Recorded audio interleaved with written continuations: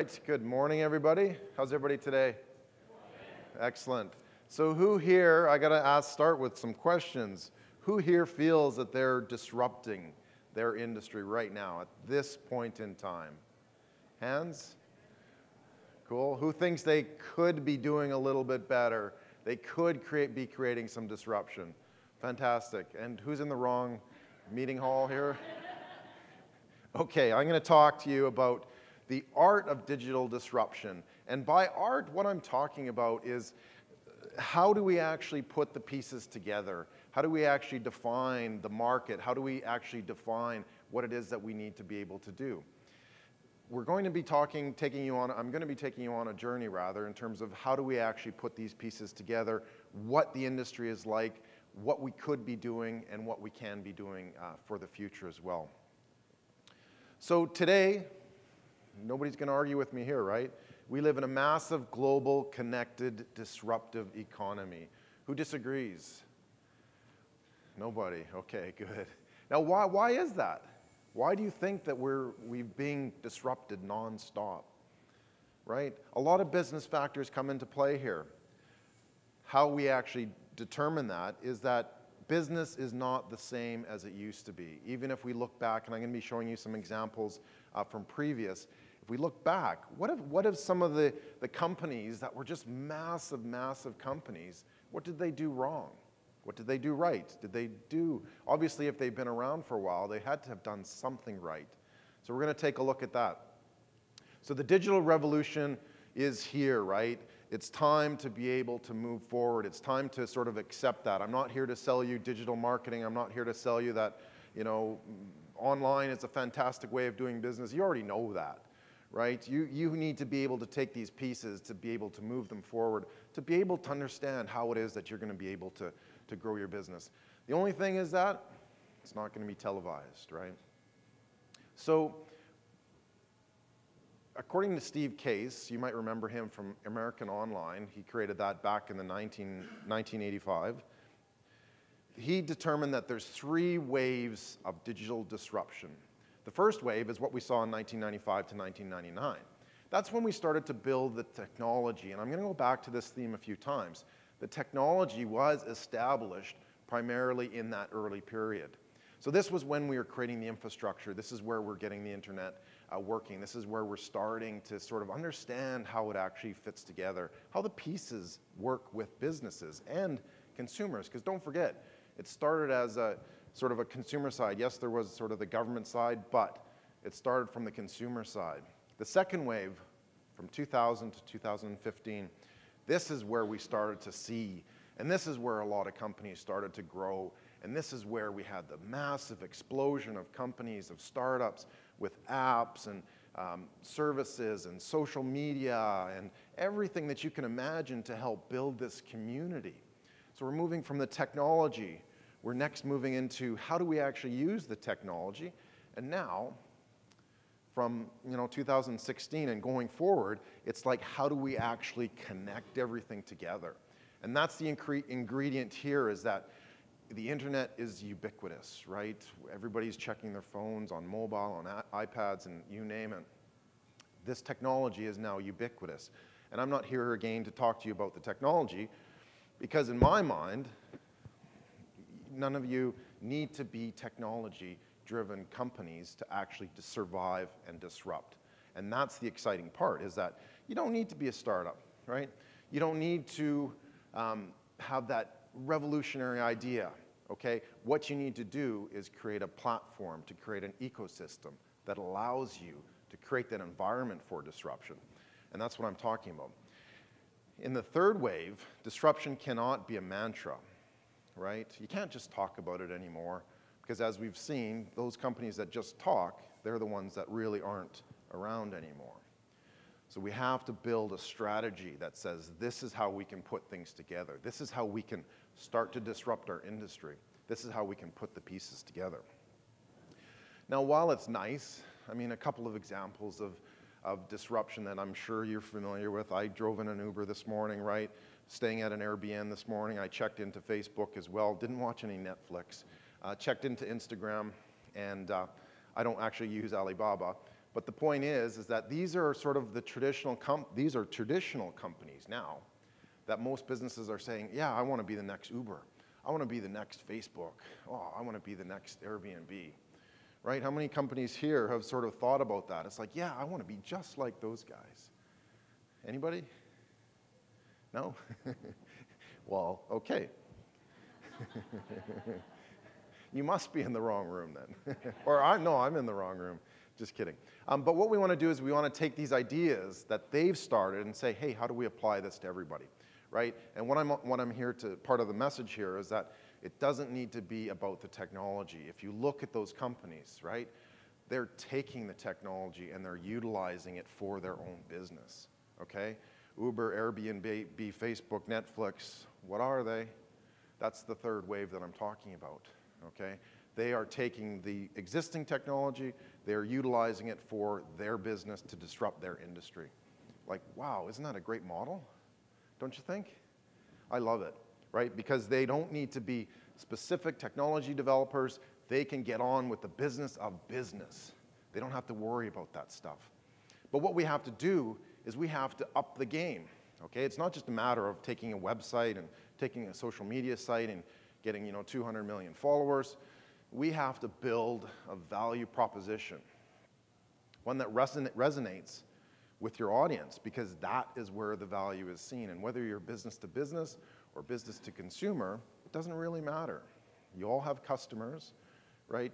We want to be able to create this value that says, hey, this is a fantastic business. I am able to exchange that value. I'm able to provide that value as the business, um, the business leader. So we need to look at it more from the buyer's journey. How many here have a seller's process, a selling process?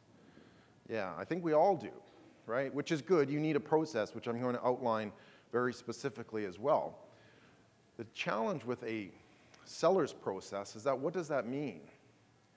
That means I'm taking it from the seller. I'm trying to sell you something, right? And who likes to be sold something? Not all the time, right? Sometimes we do when it's like a big purchase or whatever. Sometimes it's just, hey, let's get on with business. I am the buyer. I want to be able to buy something. Show me your value that says that I can actually connect with that. So we need to move from a selling perspective to a buying perspective. And that's how we make that, that differentiation. And as I said, you don't need to be a startup. Who here's a startup? So I'm not going to piss anybody off. Any startups? Oh, okay, a couple. All right. Like brand new or spank, brand spanking baby? Two years. Okay, yeah, all right. Well, I'm here to tell you that most businesses are not startups. They're past that stage, right? They're in their teens, they're in their 20s, 30s, 40s, 50s, whatever, right? So you need to be able to do something despite having all these fantastic unicorns and these fancy companies doing this and that and, and this sort of thing. So we can make a difference. And you don't even need to be this good looking guy, right? Go about doing business, go about creating the business based on your value, based on what you can actually do and what your buyer is actually looking for. And I couldn't talk about disruption without a picture of a dinosaur, right? Because every presentation you've had on disruption, if you've seen one, probably has a dinosaur right? It has nothing to do with disruption, so let's get that over and done with, right? but I had to show you a dinosaur. What I did want to show you or tell you is that there was this one magnificent beast called the pancake crocodile. And this is like 200 million years ago, so uh, we're going back before the internet age, right? So that's the, the preview of the internet. Uh, anyway, what it did was it would sit very quietly in the riverbed or the water, and I was watching this on Discovery Channel, and it would just sit there, and what it would do is it would have its jaws open, and it's a big flat pancake croc, right? So it's got this big flat mouth that could eat things. And what it would do is it would sit there and wait and wait and wait and wait until a fish came by or food or smaller crocodiles. I guess I have no idea what it ate. And then smack, lunchtime, right? So what we want to do is, is take a look. Well, what is this actually, what, what kind of strategy is this? And I know crocodiles in, in the Paleozoic era had nothing to do with uh, marketing or business development, but what they were doing was passive. They would wait. Wait, wait, wait, wait, wait, wait for their lunch. So, who here waits for their lunch, right? Not too many businesses will survive if they do that. So, what we need is we need an active process. We need a dynamic strategy that says these are the pieces that we need to be able to put in place. Enough about Crocs. The other side of the argument is well, maybe this whole digital disruption is killing businesses. Maybe it is, maybe it isn't. But we have seen some very reputable businesses that have kind of tanked, lost a tremendous amount of value. They'd been around for a long, long time. So, what happened to them? Right? Were they just sort of sitting waiting for their lunch to come? Or were they actually doing something active? Were they actually doing something dynamic that says, hey, this is, we need to, this thing is coming like a freight train. We need to be able to adjust to it. We need to be able to understand what it's about. Blockbuster, Sears, Kodak, Borders, Atari, right? Everybody knows these companies. These used to be part of our everyday vernacular, right? We used to go to Blockbuster. We used to go to Sears. We used to do our pictures with Kodak and buy our books at Borders and used to play video games on Atari. But where are they? Nowhere to be seen. So we kind of need to ask ourselves perhaps disruption is actually part of business. Who feels that disruption maybe, just maybe, it's a part of every single day business? Does anybody agree with that? Yeah, so maybe it is more of a challenge to be able to understand that, hey, everything is changing, everything is transforming, everything is disrupting. And if we can actually do that, wow, we can stand back and say, I know how to do this now. I'm not scared of it. I'm not worried about becoming the next Kodak moment. I'm not worried about becoming Blockbuster because I'm building a process. I'm building a system that says this is what we can do on a daily, regular, strategic basis. And that's how you start to implement, is by understanding that. So, what is your greatest work? And I'm not going to get some examples, but you know, what is it about your business? What is it about your industry? Healthcare, pharma, biotech, information, financial services. What is it about your industry that makes you great?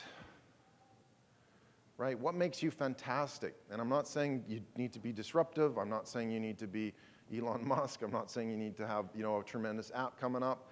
But what is it? What is your greatest work?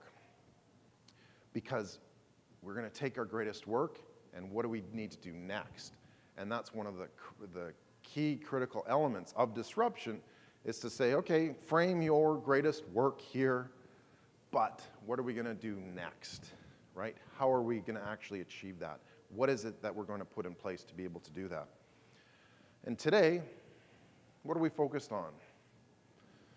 The buy button, right? And yes, this is B2B and B2C, but we're so focused on that one little action that says, buy my shit, right? Buy my stuff, buy my cars, buy my business services, buy my applications, you name it. But we become fixated on buy, buy, buy. And again, as I said earlier, you know, what, what does that mean to the, val- to the value of that customer, that end customer? What are they thinking? They don't really care. They don't really care. They're thinking, what's in it for me? So when you have, you know, the buy button, whatever it is, we are fixated on your finger. Everybody stick up their finger, please. We're one click away from disaster because this is all we're thinking about as an action. Buy, buy, buy my stuff, buy my, buy my SHIT, right? But we need to change that dynamic. We need to be able to say, well, how do we change this pointed finger from disaster to something that actually works? Social selling, right? We've all heard that big buzzword.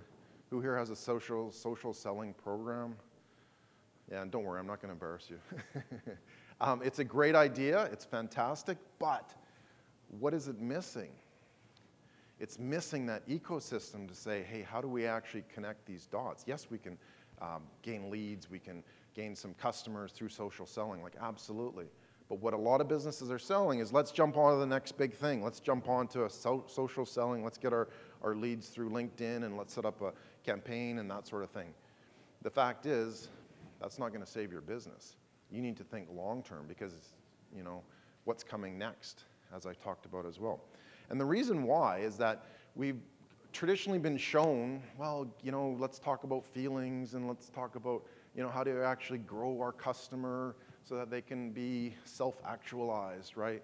We've probably seen this diagram in all of our marketing classes, right? Let's talk about physiological safety, love, belonging, esteem, and then they become customers, right? Wouldn't it be cool if we could just use this fancy pyramid, social sell some stuff, go to LinkedIn, get some massive customers, right? But guess what? It doesn't work. Why? Because we're looking at it from the buy, from the sorry, from the selling perspective. We're trying to sell something. We're not getting somebody to buy. And I hope you can see the difference there.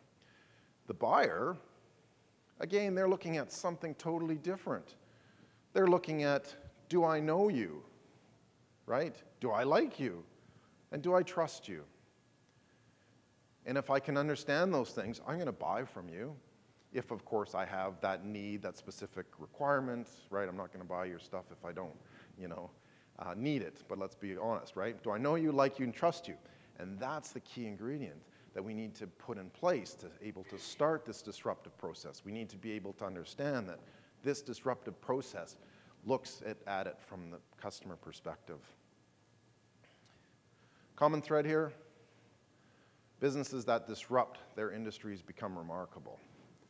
So you're probably thinking, okay, well, that's great, Doyle. You're talking a lot, and I'm falling asleep. I had a little bit of breakfast.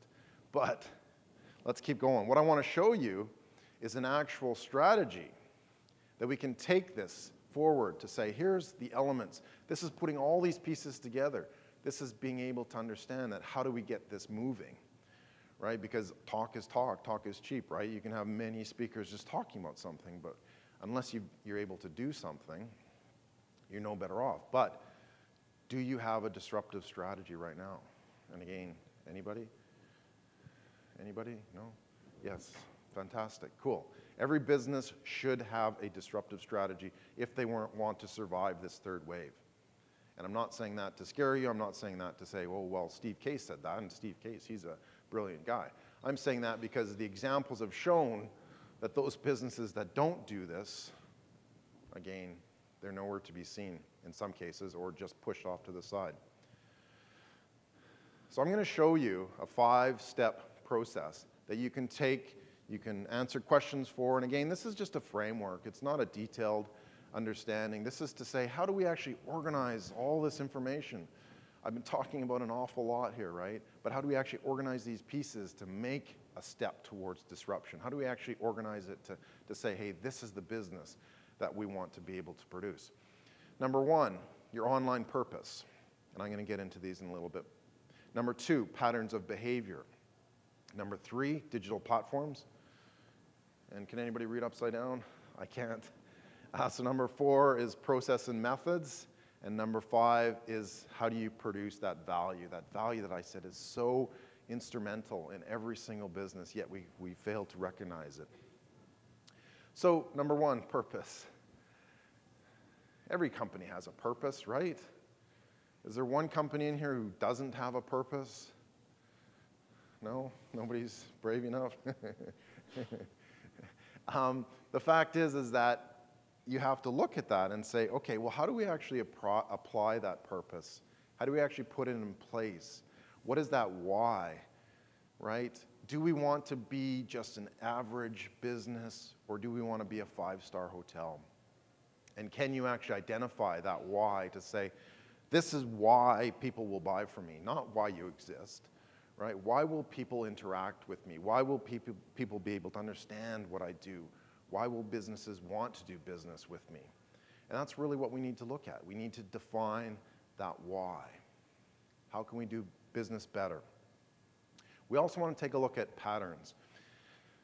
And one of the interesting things I, I spoke with a number of you last night um, was that a lot of businesses are missing the point. And you know, if you think social selling is kind of, and having a website and social media is, is really going to work for you, then mm, you're kind of missing the point, right? Patterns are what happens when people actually interact with you, so we can see what's going on. Okay, so take off your your blinders and say, I want to look at my customer. I want to understand who they are. I want to be able to see what they're doing. I want to be able to understand how they're interacting. I want to be able to see these patterns that say, this is, this is where my customer goes. This is what they do, right? This isn't rocket science. This isn't, you know, biomedical advancement. This is saying I, I need to understand what my customer does so that I can better respond to them. I can better provide that value. And unless we actually dig into it, and there's so many tools out there, that's why I'm saying like we're not about the technology. Disruption is not about tech. It's about getting those tools because they're all there. We said that. That was stage, number two. All those tools are there. Yes, we're being refined and we're refining them now, but all those tools are there to be able to go in and see what exactly your customer is doing and how they're doing it, using social media, using website delivery, using marketing metrics and marketing return on investment.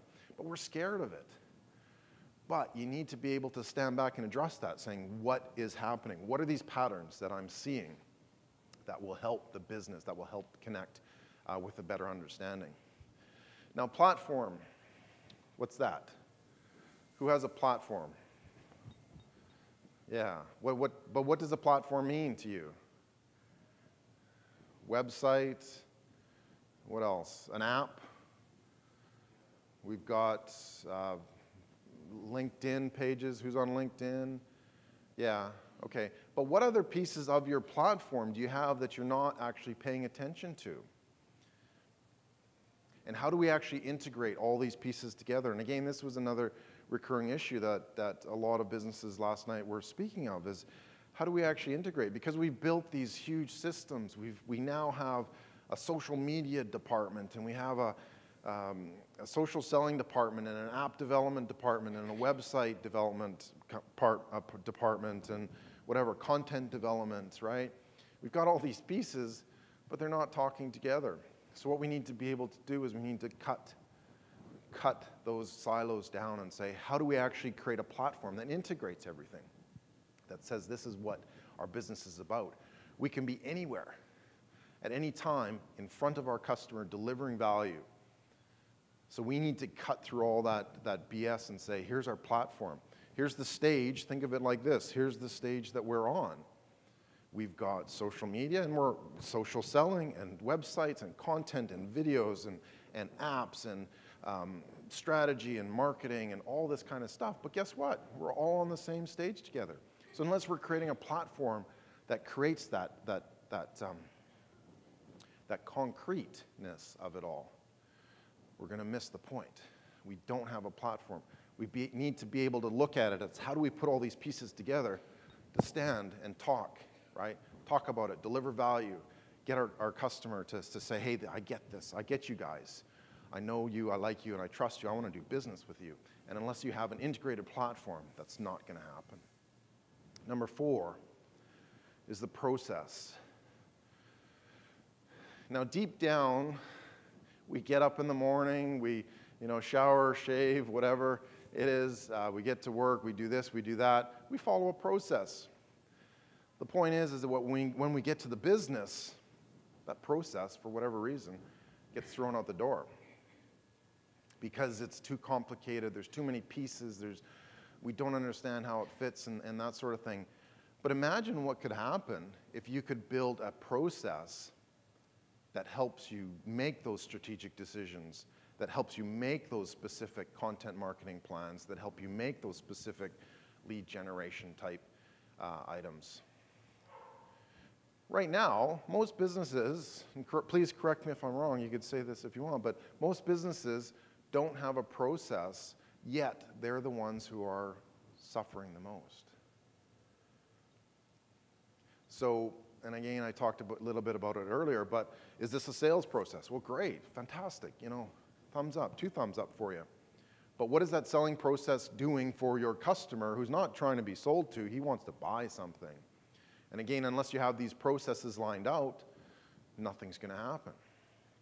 So imagine if you could create a process that outlines this. This is exactly the, the process that my customer takes when they're looking for our product, step one, two, three, four, five, whatever it takes. So do you, do you not think then that you could then show that to your customer and say, oh, wow, that, that, I'm familiar with this process, right? So now I know, like, and I trust you because I see what's going on. And that's the fascinating part is that if we could sit down and, and part of your strategic planning is saying, guys, guys, guys, you know, we're all, all, over here and all over there. Let's make a process. Let's define what it is that we're trying to, trying to do, the steps that we need to take, that our customer will follow us or create the leadership for that. And that's how we do that. The last one is produce. Okay? Who here blogs? Anybody? yeah. Who would rather not blog? Yeah, most of us, right? The fact is is that we've kind of again if you're thinking bigger picture disruption, right now most businesses have said, "Oh yeah, I've got a blog, I've got a blog, I've got a blog, I've got a blog." And then, okay, so we'll set up a team. Let's have a blogging team, you know, because they'll be able to do something. And so we get these great ideas and we, you know, these wonderful stories about us and how awesome we are and how great our business is and how amazing our, our CEO is or whatever the case may be. Um, but what happens? Right? Nothing. It's like, oh, well, is it hello? Is anybody there? So we kind of wait and see, well, maybe we'll try this. Maybe we'll produce this and talk about this. But the challenge is, is that we've kind of, again, looking at the old school, saying, oh, well, you must blog. And I'm not saying you shouldn't, but what I'm saying is that there are so many channels out there, right, that we're missing just because we're, we're so focused on what marketers say or how we should do things and that sort of thing. And we're missing that big picture that says, hey, what else do they want to be able to know, like, and trust us? And if we can get them those pieces, will, will they do business with us? And yes, the answer is absolutely. So look outside of blogs. Look outside of how do you actually produce content that engages with them. And again, that's you know one of those throwaway words. But if you understand the process, if you understand your customer, if you understand what they're doing and your why, right? Step number one is why. What's going to happen? You've now created that infrastructure to say, we need to produce this type of content to engage, to actively engage and actually be able to do something different. Because otherwise, what do we say? You're one click away from disaster in the digital age. Nothing gets any worse than that, right? We're talking a hair's breadth. So, who's ready for disruption? Yay! Who's ready for disruption? Yay! Who's ready for disruption? All right. Yes, because this is what we're going to do. We're going to push out competitors. We're going to connect with customers, and we're going to create that long term value. Okay, that's the critical aspect. Because if we're not doing that, we might as well not be in business, right? Who wants to just go on and hum hum, hody ho ho along for like 10 years, five years? Nobody. And the, the funny thing is, is that that's what the startup industry is about, right? If you don't produce a brilliant, absolutely remarkable idea, you're gone. So sometimes we need to think a little bit more like startups. So those companies that I mentioned before, right? I'll go through three of them quickly. Kodak, Blockbuster, Borders. And what I've done is I've divvied this up, say, did they have a purpose? And you know what? I'm not the CEO of those companies, so I'm going to assume yes. Did they understand the patterns? Who agrees with me that said no, they did not? Yeah, who disagrees? Does anybody disagree? I'm happy to have a discussion on that. Did they understand what was happening with their customer? Did Kodak? They've been around for 100 plus years. Did they understand? No. They didn't see a pattern there at all. They said, hey, we're, we produce film, we produce you know, cameras, all this fantastic stuff. Ah, what's to understand, right? We can do this. This is with our, with our eyes closed. Blockbuster, did they understand the patterns? No. Any, anybody say yes? Again, love to discuss that. No? And then borders, did they see the patterns? Borders, wouldn't you think that they would have been placed just brilliantly well for that stage number two? Yes? But yeah. Your disruptors, I think, are are one, they saw the value of the technology that allowed for them to be the disruptors, but your companies that you identified over here did not see that where they did. but I still question that. It's the digital cameras, it's the online movie streaming, and then the uh, technology that allowed ebooks, not Amazon. You're right. That, that's the enabling technology. And I said they're not about that technology, right? They don't need to produce ebook technology to be the player. Borders didn't need to invent the Kindle. They didn't need to understand, you know, or, or create the technology. It was there. Other companies were doing it. That's why Amazon, for example, was able to tie onto that. They identified the technology and said, we're not going to be a technology company. We're going to be a provider of ebooks, right? So there's a very fine differentiator there. Yeah, I just was going to share a comment about Kodak as well. I, I think Kodak, they missed a key opportunity, right? They were a film company. They were an, but what they should have become was an image company. So even if you don't necessarily agree with the matchup with Instagram, Kodak was late to the game in the digital space. They were late with cameras. In fact, they really tried to get into medical imaging. They thought that was going to save the company uh, back in the early aughts. But I think the opportunity there, or the key for me with Kodak, was they did not see the shift to digital imagery. And they were so fixated on tangible images. That's what they missed. It doesn't really matter, in my opinion, whether it was cameras or phones or anything else, but the, that brand at the heart was images. And they totally missed the boat on the move to digital, whatever Yeah. that would have looked like for them.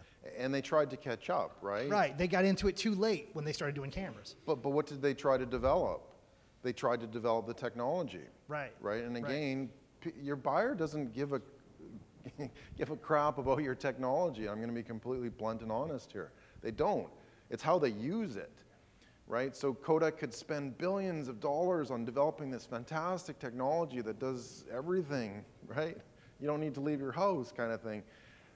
But unless that applies, unless that produces that value for that customer, they, they couldn't care if it's the most fanciest camera ever produced in the entire history of the planet. So patterns, again, do they miss these things? Do they understand what it is that's, that, that's happening? And I'm not saying just about your customer, but, but the industry too. Like, what are some of your game changers that are coming down the pipe for your specific industry? right? Can you identify those to say, hey, yeah, this might be something that eh, you know we should probably look about look at it. Maybe it's a customer complaint that says, well, why can't you do this? And for those companies that go, oh, well, we know everything, we couldn't care less, right? What does a customer know? You know, you need to look at that and say, well, if this one customer, one out of a million customer customers rather gives you some feedback, maybe you should take some serious look at that because that's how these trends change. This is how the patterns start to appear to say, well, one person can see that, maybe more can. So take some time, identify those patterns within your own industry. That it might not be a solid signal to say, yes, everybody's moving to VR or augmented reality headsets or whatever, but it's, again, it's, it's what are they going to be doing with that, with the technology? It's not so much that you can put on these glasses and go, yeah, that's cool. I can see everything on stage and I can pull down matrix stuff onto my screen. It doesn't really matter. It's what are the, what are the patterns that they're exhibiting. Uh, platform, right? Did Kodak have a, have a platform? I think they did, right? They had photography, um, they had film, they had cameras, right? So the product was, again, not that you could pick up a, a device and go click, click, click, right? It's that you could, you know, share a print. Here, hey, look at my vacation down in Nashville, right? Or my, my trip over to Hawaii. Like, wow, like who wouldn't love that? That's what they're selling. They're selling memories. They're selling, you know, how, how do you actually connect and share with your family who wasn't there? I'm proud of this thing. I'm proud of that. I want to show you my family, right? So they had a platform. Absolutely. Blockbuster. Now, I don't see it as a platform in terms of, they had actually had a, an interesting slide. There was um, a, uh, a, um, a VHS store. I think actually there's one or two blockbusters that still exist, right? In Alaska somewhere? yeah. Anyway, sorry? There's eight. Okay, fantastic. Are they still corporate owned though, or no? Okay. Anyway, I walked into this marketplace um, up in Canada, and lo and behold, it's like the second biggest blockbuster store I've ever seen. It's like VHS tapes. It's like, oh my God, going back in time. So, did they have a platform? Kinda. Yeah, they were distributors of movies, but did they understand that people hated those bloody things, right? Because it's like you put them in there and the tape goes bad and, and it doesn't work, or you're trying to fast forward and rewind, and it's like, oh. So, what if? What if Block, Block, Blockbuster you know, could have understood how the platform was changing? That people no longer wanted to walk out in minus 40 you know, to switch their videos um, from time to time. And actually, I was reading too that Blockbuster actually made more money on late fees. Just so you know, I read that like three days ago. It's like Blockbuster made more money on late fees than actually distributing. Yeah, absolutely. So that could have been a pattern. It's like your, pa- your customer saying, when they come up to you and it's like, oh yeah, here's my video from last week. They go, okay, well, that'll be $29.95 in late fees. And you're going, what? You're kidding me, right? I only watched it once. Why should I play, pay you like 30 bucks? Anyway, yeah. So could they identify um, that platform change that was saying, hey, people don't like late fees? Do they really want to pay late fees? No. They just want to sit down. What do you want to do? Sit in your, in your big lounge, your couch, and watch. And that's all you want to do. You couldn't care about anything else. Um, and Borders, did they have a platform? I'm going to say no. Does anybody disagree? Say that yes, they did. They were a fantastic bookseller, right? I mean, Borders, wow, that was, that was a cool store because it was like amazing. The interesting thing, of course, is we've seen this shift back with Amazon coming in, but maybe that was more of a strategic decision to say, let's knock out booksellers, let's go online, but let's go back. Let's redisrupt everything that we've actually done. So I don't believe that Borders had a platform other than the fact that people went there to get books. And again, you look at convenience, you look at understanding, how does this actually work? Do I need to go to the bookstore? Yeah, it's a great environment, but guess what? Some people just want to sit and read. They don't want to go tootling off where they want to get this rare edition from somewhere else around the world and they actually can't go around the world to get it. And that's what Amazon provided. So process again, understanding what is happening in your business, understanding what's going on, where people are going, how you can you identify that? And what I've said is that the process is, is, is extremely important, but Kodak, Blockbuster, and Borders didn't actually understand that process, right? Because if they understood the process, they would see that people do want to be able to share without delivering a print, right? So you know, I don't live in Nashville, so who's here, who lives in Nashville? Or, yeah, okay. So if I don't see you again forever, those photos that we took, and they're okay, don't worry. We, nobody else will ever see those pictures. I'm just teasing, so. um, so, you know, what is this process that we understand is that we want to share these pictures. I want to share the pictures with my family, right? Back in Australia or back in Canada or to friends in the United States or Europe or wherever, right? I want to be able to share that. They didn't understand that process. They didn't understand how that worked. Again, with Blockbuster, they didn't understand that people hated paying for late fees. Why the heck should you make me pay more money to watch the same movie? I don't know. Makes sense to me, right? And then Borders again. Did they understand the process that grabbing a book from a shelf, you know, flipping through that, who likes going to bookstores? just kind of seeing what books are there. Yeah, it's a fantastic experience. But can you get every single book that you want, you know, mailed to you uh, next day? No, you can't through Borders, anyways. You can obviously through Amazon. And that's the point. Finally, produce. So, did Kodak produce content? I don't believe so. Right? They provided a tool, they provided a mechanism. People produced for them, which is it's fantastic positioning for them, right? If you could have every single camera in the world runs Kodak film, not obviously for the entire time, but every person ran that film through their camera. Can you imagine? Like that, that's, that's social media when, you come right, when it comes right down to it. That's what that was. So they weren't producing it. They were producing film, fantastic, great, but they didn't understand how that production of film they weren't selling the memories, they were selling the technology. Blockbuster, I believe that they produced content, right? Because you had blockbuster features, um, that sort of thing. So they understood that, yeah, there's something there. And if you look at it, Netflix, like, wow, they produce some of the most amazing TV programs that are out there. I, you know, wouldn't necessarily call them TV programs, but the fact is, they produced. Netflix said, hey, this is a cool idea. Let's take this technology of instant distribution worldwide, doesn't matter where the heck you are. I always travel with my little Apple TV, and that thing's got a lot of miles on it um, because you can get it anywhere in the world. Like, who wouldn't want to do that? And watch some Netflix episodes, some specific ones designed specifically for that. And Borders, did they produce content? Not really. Again, they were, they were selling. It's like, come, come on down to, to Borders and buy your books and get a few little accessories and that sort of thing. They weren't doing anything to say, hey, this is the great technology, or this is, we're going to produce something outside of come down to our store and buy some books, right? People were looking for that experience, and as every, almost everybody said, they enjoyed that experience. Well, what I would suggest is take these five pieces and fill in a box for yours. Or do you want to be the disrupted, or do you want to be the disruptor? Define purpose, define patterns, define your platform, define your process, define what you're going to produce for your audience. And again, took, taking a look at know, like, and trust. How can I actually develop that into my customers?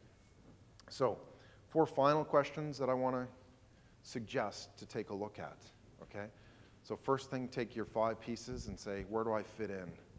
What do I actually need to be able to do to sort of create that environment for disruption, right? That's what we're looking for. We're looking for the environment to say, hey, this is important. This is how we can actually uh, build our business. What is your vision of value? For improving the lives of your customer. Again, it's, it's what's in it for me as your customer. What's in it for me? I couldn't care less if you had the best selling process that you've ever produced in your whole entire life, right? Unless it improves the value of me, my life, I don't care. And again, remember this we're talking about the one click away. So, how do we actually do that? What is your vision of value? Not just your value, take the next step. As I said, here's your greatest work.